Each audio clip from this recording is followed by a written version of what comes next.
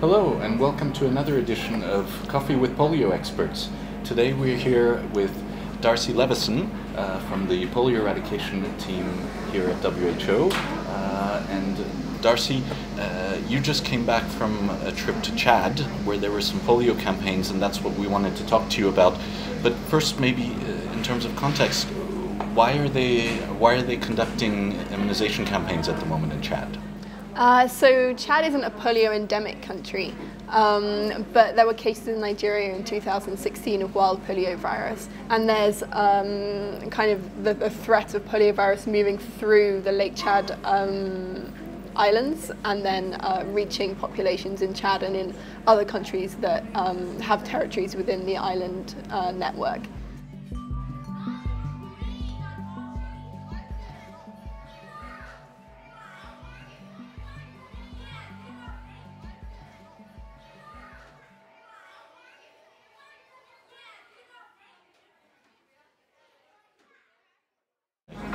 That that's something that everybody's at the moment talking about uh, uh, in this outbreak response. The, the, the islands on Lake Chad. Uh, can you give us some context how to picture it? How big is this lake? How many countries border it? How many islands are there? Do people live on these islands? Um, so it's a very interesting geographical area. The lake is, is enormous, so there's five different countries that have territories within it. That's uh, the Central African Republic, Chad, Cameroon, uh, Niger and Nigeria. Um, and the lake itself is not a lake as we might think of it, um, perhaps in Europe. It's not so deep, it's just quite like a shallow, broad lake that covers this huge territory. And so within it, there's all of these islands, and it's more like an archipelago, I guess. So the islands are very close together, and often there are uh, masses of um, kind of loose vegetation that floats across the surface of, of the shallow water um, and blocks off different areas and creates new islands. And so it's actually a very difficult geographical place to in which to eradicate polio because you have this um, area which is very hard to map where there's um, vegetation moving where the water levels are going up and down um, with with kind of um, both the seasons and also the lake is receding. It's been receding for um, several decades now. So it's really this complex changing environment where a virus could very easily spread, um, not only across the water in, in, boats, but also because people can go between islands through walking often um, through the very shallow water. Because it's quite shallow. Okay. Yeah. So you first went to N'Djamena, the capital, of course, but then uh, you, you actually went out to the islands. Tell us about your experiences and some of the challenges in, in reaching some, some of those areas. Yeah, so it's just an incredibly difficult place in which to deliver vaccines. Um, so even to get from N'Djamena, you either, either um, have to go on, on very rough roads for um, sort of five or six hours in, in a 4x4, or you need to get a, a, a tiny plane uh, from the central airport landing on sand outside of Bol, which is the main uh, town um, in, the, in the Chadian section of the islands. And then from there, um, with vaccines, you have to go down uh, to the lake shore and you need to get in a tiny boat and then you need to motor often. Um, well, the island I went to, it took us 15 and a half hours motoring in this 15 tiny... 15 hours of motoring in a... In a tiny, um, like open top little motorboat. Um, a very sort of basic design, but a, a plastic hull, which means that it's a little bit uh, more secure and, and more stable to, to carry people in. And, it, and it's hot and, and, and yeah. dusty and... Yeah, extremely hot, so above 40 degrees uh, nearly every day that I was there, um, uh, reaching, you know, 45, 46. Um, really just like burning, burning sun. Uh, it's a very dry environment in many places. Um, you have to carry all of your own water because uh, the lake water is not clean to drink. Um, and it's just a very relentless task. So you're sitting in a, in a boat for hours where there's very little mobile phone signal. Um, often, because the lake is so shallow, um, the motor on the boat doesn't always engage with the water because it's, there's not enough water there for it to engage. So um, the person who was navigating us had to get out of the boat at one point and push us for over two kilometers, um, which was just a really um, relentless task in the burning sun. Um, it took two and a half hours to, to just get across an area that was about two kilometers wide doing that. Um, and then once you actually get to the islands, that's not the end of the journey. So you then have to get out of the motorboat with the vaccine box uh, boxes and all of your supplies. And um, the island where I went to, which is an island called Banaguri, um, it's so remote that no UN agency reaches there and no WHO program reaches there apart from the polio program. So there's very little infrastructure. Um, and when you get there, you have to walk uh, for a kilometre or so um, across dry grazing land and then through, we had to walk through another sec section of um, the lake where it was kind of intersecting with the island, and then cross another kilometre of um, this, this sort of rough, rough ground, and then into a little wooden uh, boat. Um, it's kind of like a punt, I guess. Um, we had to load all our stuff on that, but very carefully so as not to damage so the fin. Carry all your the, the, the, vaccine, the vaccine carriers, all your food, all your water, everything across all yeah, all, all, all the supplies. Yeah, all the supplies that we would need for the, for the campaign. Um, and then we had to paddle for 35 minutes through uh, reeds in a, a, little creek. And then once we got to the edge, end of that, that wasn't the end of the journey either. So uh, at, at the point where we landed, that was still three hours walk from the village where we were going to be staying for the night. That's the village where the health centre is. Um, we were lucky because uh, on the island there's no transport of any kind. There's only two motorbikes, both of which are paid for by um, WHO. And um, those, those bikes are often broken, but when we were there, they were working. So we were able to use those two motorbikes to make the journey shorter. Um, but really, for the people uh, who live there, it's just a very uh, inhospitable environment. And um, actually, one thing that the program does um, on Banaguri is um, provide um, health services for other immunization programs. So um, the consultant I was with was also looking at measles surveillance. Um, we visited the health centre and we saw some of the other uh, immunization activities that are facilitated there. And it's it's really the people who live there can't get to the health centre. It takes such a long time, so it's really um, just a very, a very uh, interesting complex environment. How, how, many people?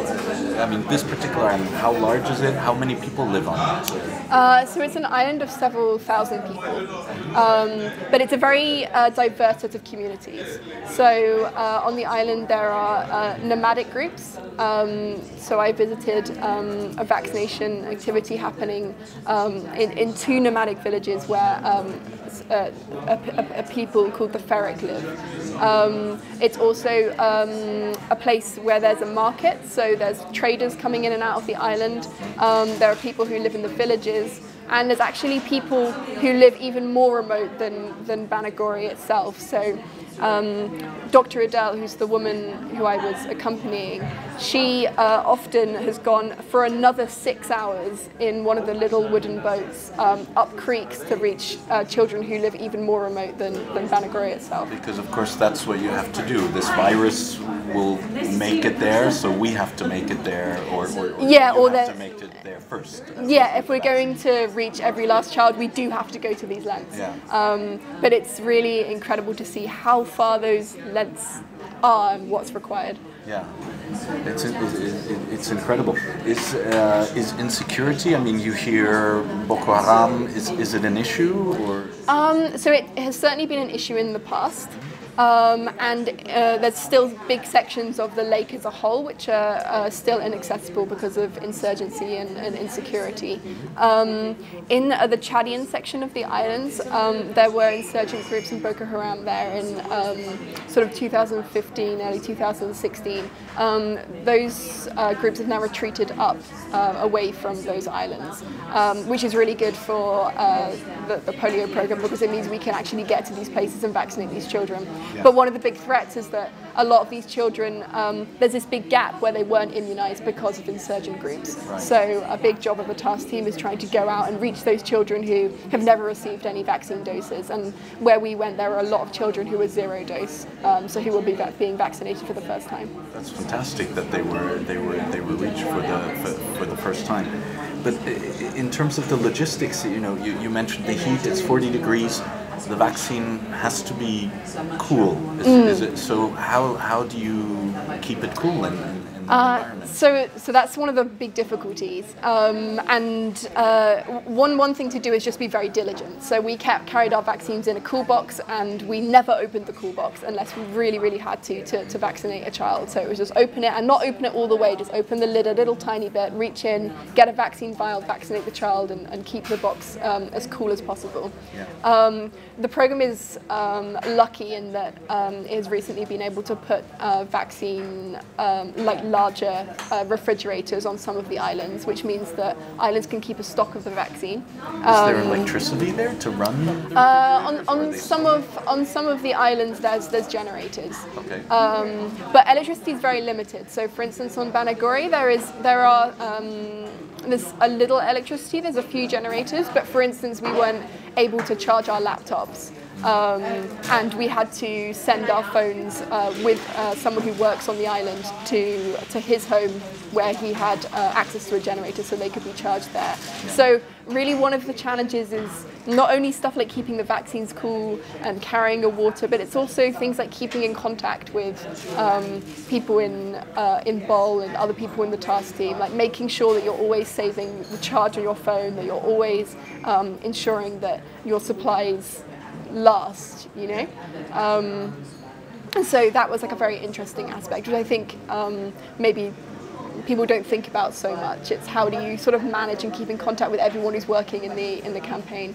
Um, and, and when you finally did reach uh, these communities, uh, uh, was their reaction? Were they accepting of the vaccination? Uh, was there a lot of engagement? Um, um, yeah, there was a lot of engagement and um, and widespread acceptance of the vaccine. Um, and I think that's largely down to the work of people in the communities. So um, UNICEF trains community mobilizers who go out to uh, people's homes before the campaign or even a day before, a few hours before, and say, you know, the vaccine vaccinators are coming and this is why it's important, and they really explain to parents. Yeah. Um, and that's very, very important for vaccine acceptance. Um, but I think it's also that the vaccinators themselves are from those communities. So when I went to uh, see the vaccination activities um, at the Ferric um, the Ferric settlements. Um, the, the woman vaccinating was a nomadic person herself from that community, so she was vaccinating you know, her neighbours' children, other people in her community, people knew her, and so that really built up trust. It, it sounds amazing and, and, and so logistically difficult. I mean, you, you mentioned the islands actually move. I imagine that means that the populations move. I imagine during the rainy season everything changes again, and and uh, to, to, to, all this must really further complicate uh, reaching reaching the population. Yeah, and it's and it's complex because people are moving down the the island network from country to country. Yeah. So um, in outside Bol, uh, there's um, a number of, of refugee camps, one of which is called Dar es Salaam, which is the biggest refugee camp in the area. And many people there are Nigerian, and they're people who have, have been displaced by, by insurgency, and, but also by things like global warming, by the lake receding, by sort of changing their fortune, and, and have wound up in Chad and potentially carrying the virus with them. Darcy, it's been fascinating. I think you know we're here in Geneva, and, and uh, uh, very often I think we don't understand what the real challenges are. You know, our working conditions are. We sometimes email our colleagues in Chad, and if they don't respond straight away, we wonder, you know, what, what's going on? Why are they not responding? But I think uh, you've really illustrated what the real challenges are. Working, trying to reach every last child finding them firstly, reaching them when there's no real easy way to, to, to reach them. Incredibly difficult conditions, uh, yeah. conditions. I think uh, our teams there really must be supported in any way that uh, that we can. Uh, do you have any Do you have any final thoughts for our for our audience today? I think just that it's it's very important to see what we do in this wider context and understand that, as you say, uh, some places are just really, really difficult environments to work in, and that's why it's so important to support um, the program and also um, support the program in these difficult settings. Um, polio eradication won't happen until we reach every child with the vaccine, um, and so it's very important to kind of sustain support and um, and, and continue continue supporting these amazing people doing these amazing things in these just incredibly difficult environments. Thank you, firstly, for sharing uh, your insights, but thank you that you went to such great lengths to, to, to reach to reach that last child, and uh, of course, a huge thank you to our to our country colleagues and, and, and partners. Uh, for me, it's been fascinating, and, and, it's given a lot of insight into what the realities are that, that our colleagues are, are working on. So, thank you, and thank you for watching, and join us again on another episode of uh, uh, Coffee with uh, with Polio Experts. Thank you. Thank you.